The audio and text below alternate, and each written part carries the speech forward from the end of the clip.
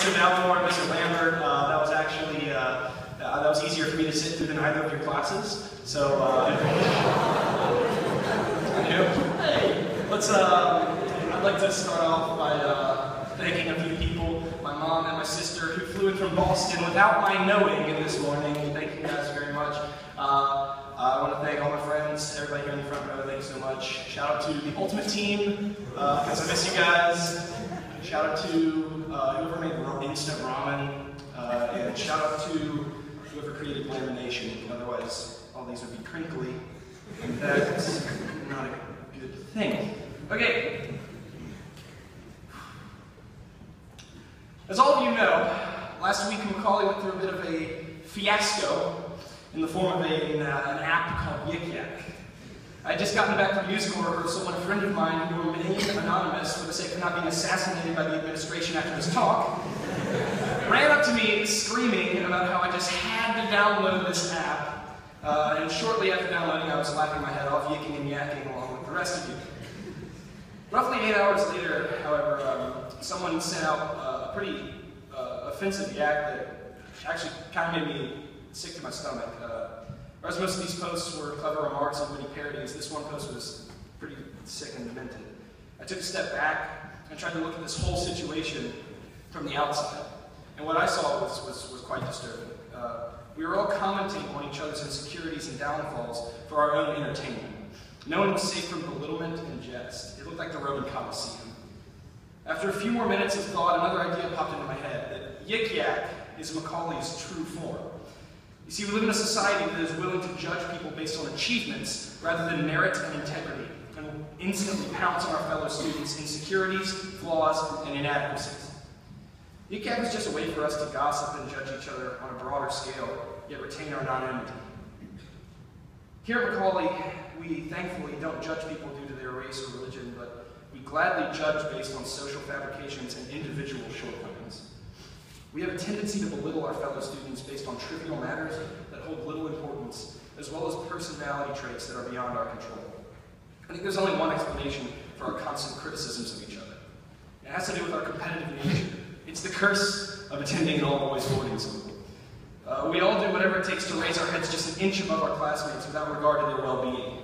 The overall mentality of this school can be pretty judgmental. And as we go uh, and as we go as far as supporting this constant teasing, trying to justify it and pass it off as just something guys do, in reality, we're just being immature. There's really no need to rip on each other about what we wear or what we love to do. If we are all able to support others' decisions instead of turning our noses towards them, this place would become a much more loving atmosphere. In addition to this constant belittlement uh, us guys give each other, we also feel the need to let our achievements define who we are instead of our merit. It's just another way of ripping on our classmates, all while letting our egos run wild. To give an example, after every grading period comes, uh, after every grading period comes the constant prodding from all of our fellow classmates regarding our GPAs. In reality, no one really cares about your GPA, they just want to brag and see if theirs is higher than yours. I think this uh, paints a pretty nice picture of how this school can sometimes work. We'd rather put our self-image above our humility. Instead of bragging about our achievements, we should be lifting each other up.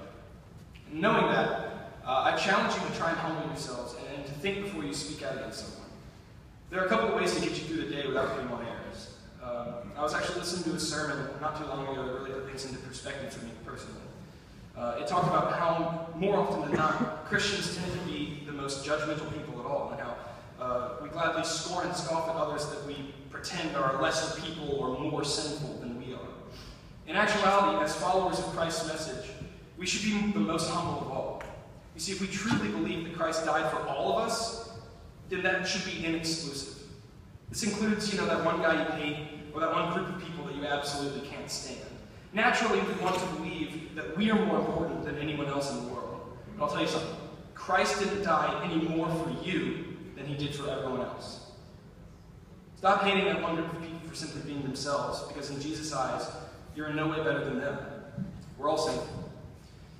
It's an even playing field, so I feel the need to poke fun at anyone, especially your peers. Even if it's just for fun, whatever reason, it can still be hurtful. We should be judged by the content of our character, and that's that. Focus on people's integrity and temperament before you take a shot at them, and become a better person from that.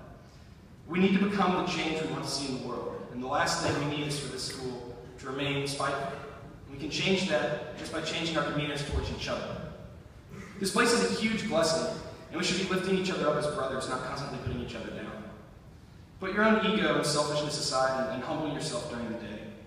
You'll feel better about not only yourself, but everyone else as well.